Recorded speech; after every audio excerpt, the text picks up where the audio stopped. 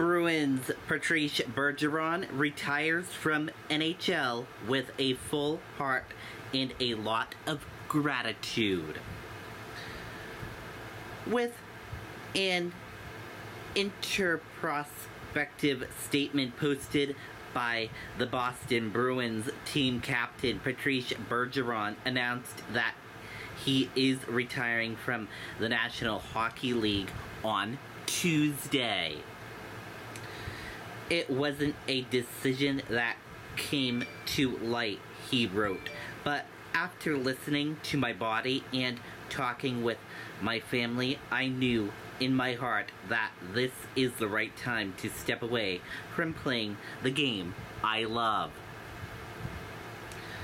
The five time trophy winner teased retirement last year but opted to return as the Bruins sought a second NHL title in a dozen years.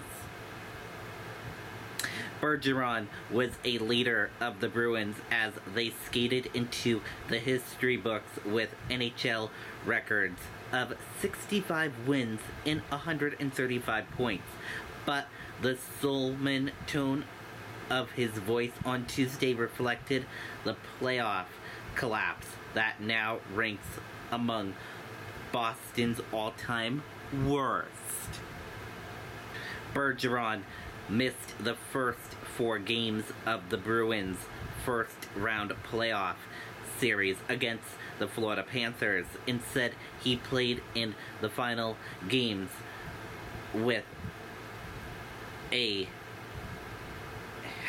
herniated disc.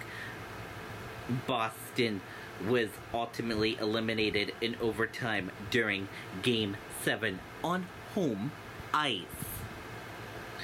Bergeron lingered on the ice long after the handshake line, giving the remaining fans a stick wave and ushering his teammates into the tunnel after a long embrace with Brad Marchand. Bergeron left the rink.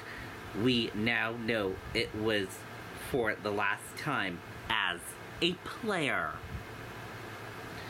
As I step away today, I have no regrets, he wrote on Tuesday. I have only gratitude that I lived my dream and excitement for what is next for my family and I I left everything out there and I'm humbled and honored it was representing this incredible city and for the Boston Bruins fans. And you can see his full farewell statement from Bergeron. We will share that on RK Network social media accounts, so be sure to look for that.